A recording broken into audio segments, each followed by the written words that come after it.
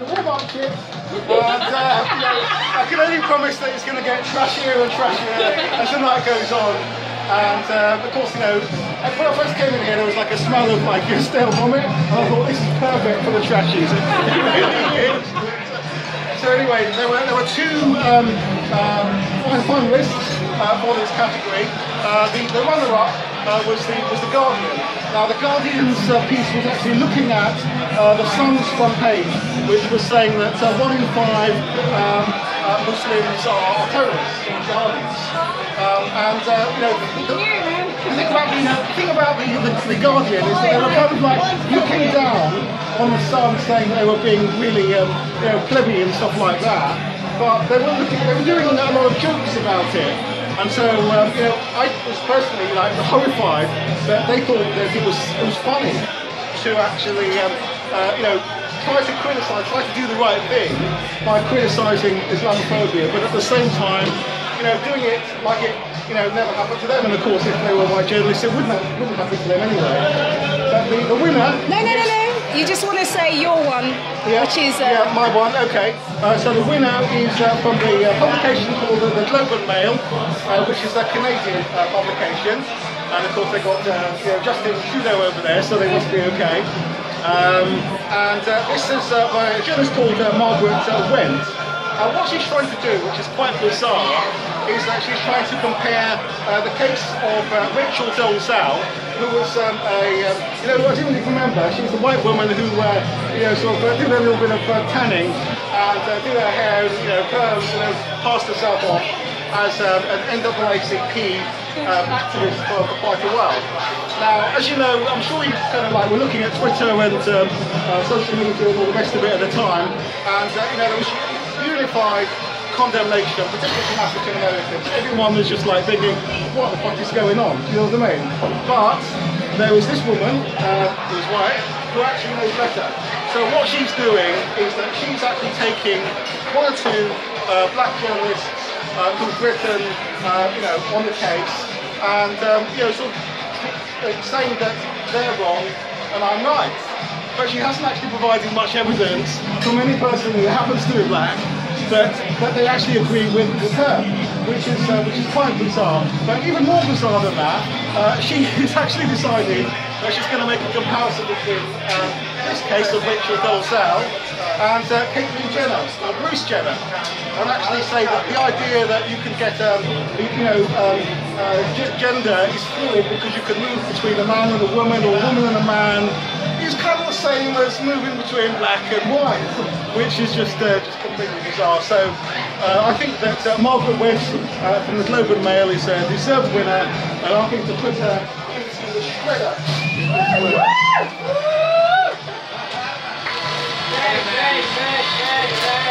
Let's only take one at a time. might do one, do one at a time. I think one at a time, yeah. I can't shred it. This is this is literally unshreddable. Try again, try again. Yeah, it's on now. Shred, shred, shred, shred, shred, shred, shred. Shred, shred, shred,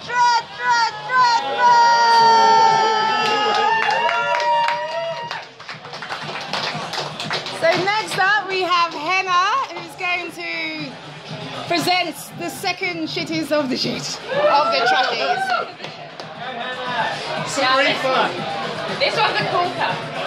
Um, it's already been referred to, um, and it's, it's very hard to talk about it. Uh, I guess it reflects uh, a broader kind of movement in the media to just randomly pick statistics and supposedly do studies, and then just say some numbers. Um, and it's of course one in five British Muslims sympathise with jihadis, apparently. Now, I don't really know where to start with the problem. Me. Me and you and which of us is it? That's what we want to know. It's like what, five? It's gonna be what? Yeah, come on. Come on! Um, yeah, so it's hard to pick one of the problems with this. Uh, obviously, we don't know how they came to this number. We don't know um, what happened to the other 75% or whatever it is of people who go studies. We don't really know what sympathy means. We don't even know what jihadi means because when they fight for ISIS or against them. Who knows? Uh, I guess that's what the Sun were trying to trying to achieve when they did this. And we should also shame um, who did the study as well. Um, also helping to produce trash. Um, yeah, so the winner of the second Shitters of the Shit is the political editor of the Sun, um, Tim, Tim Newton Dunn. Tom. Tom Newton Dunn even. I had to say something wrong again. um, for uh, yeah, one in five Brit Muslims sympathy for jihadis.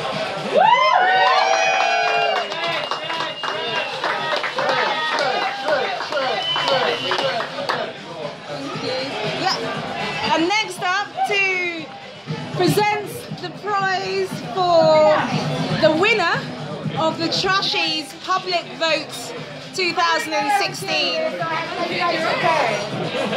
So we winner is the one that I voted for, which I'm, I'm kind of happy about.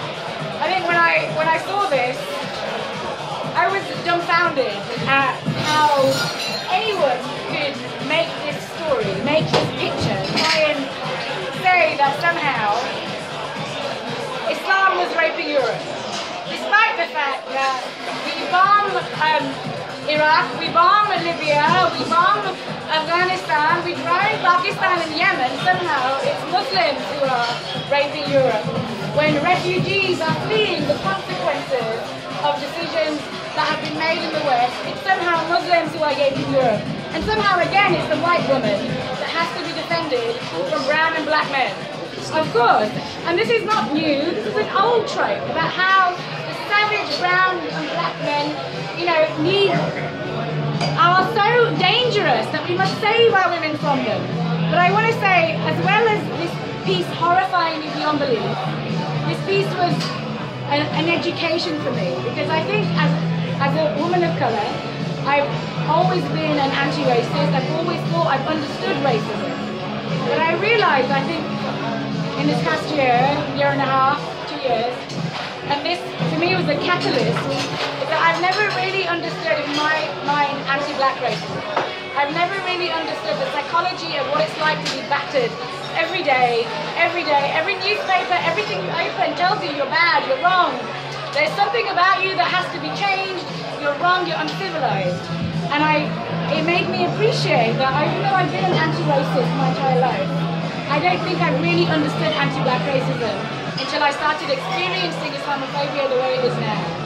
Um, so, as much as I hate it, it's taught me something, and it's made me more determined than ever to fight it.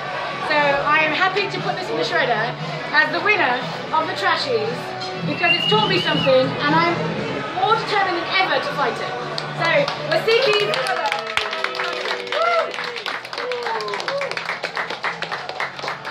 I need some help.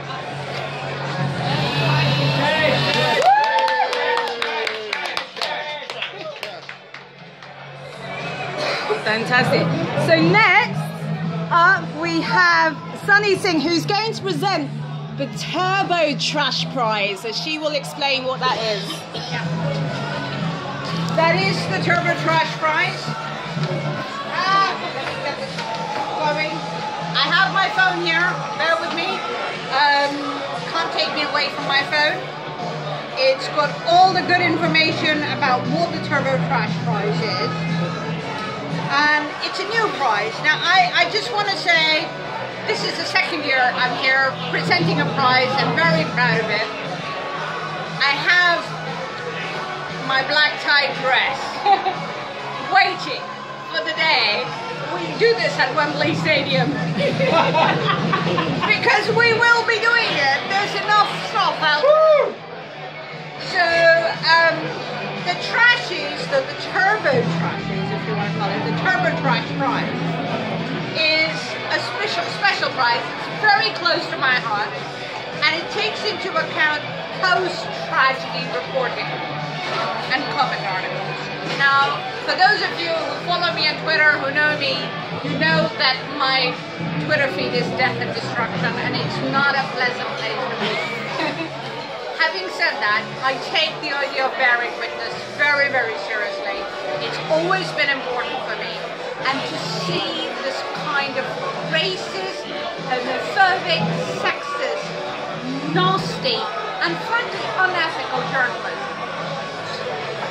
Masquerading as serious comment is disgusting. It has real world consequences, and I know that I'm now being a little bit serious, so bear with me. Um, it has real world consequences for a lot of us who have to then walk down the streets. And let's be very clear. Um, anti-blackness impacts all of us, even when we're not black.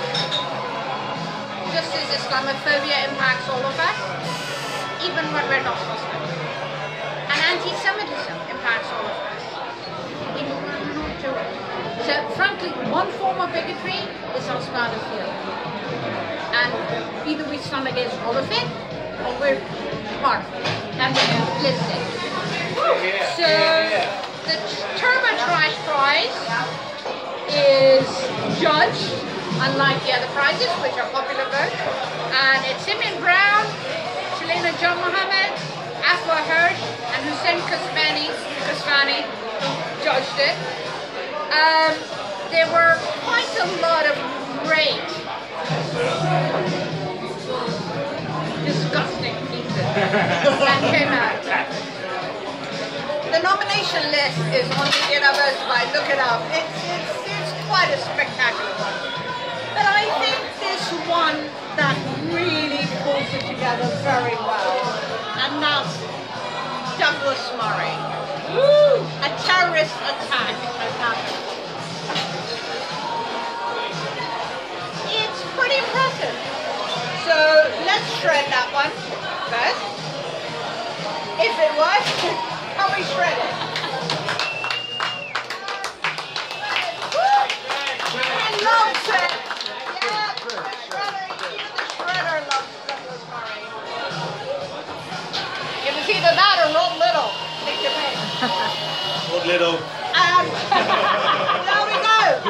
go. Australian That's personally, the isn't award. it? Woo! Woo!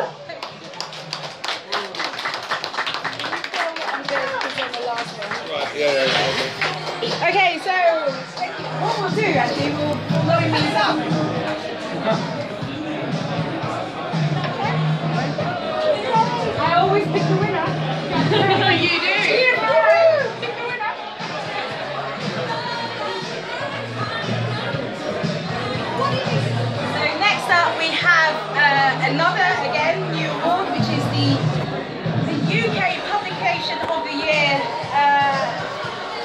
Of the Trashies.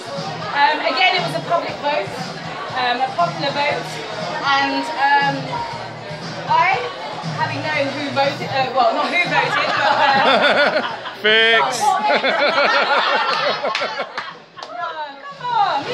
Um, no, having known who the runners-up are, I will tell you at least the second runner-up, who was the Guardian newspaper. And I know people on Twitter, no, come on,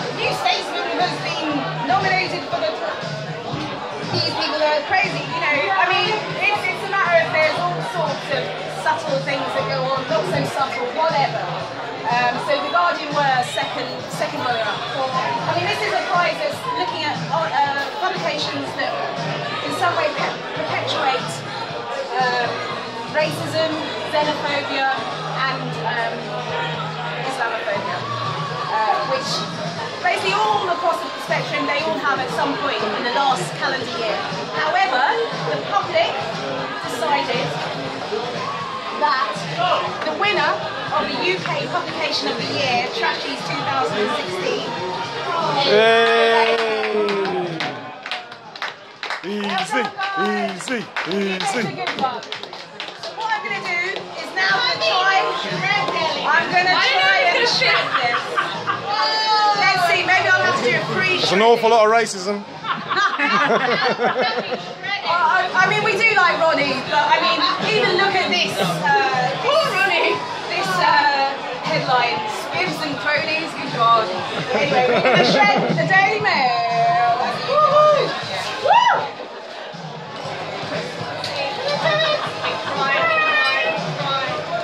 It won't be destroyed. It won't be destroyed.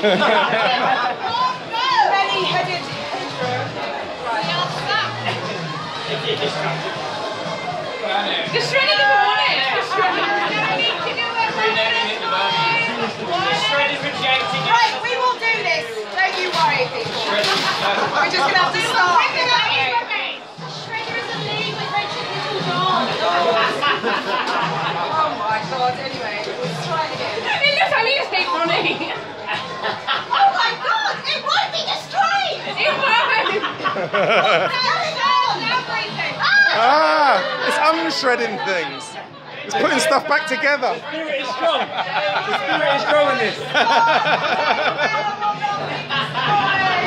yeah, then we get that Freemasonry boy. Yeah. Don't press reverse, you'll end up with Rod Liddle sitting there. And here is the very well deserved prize. Yeah.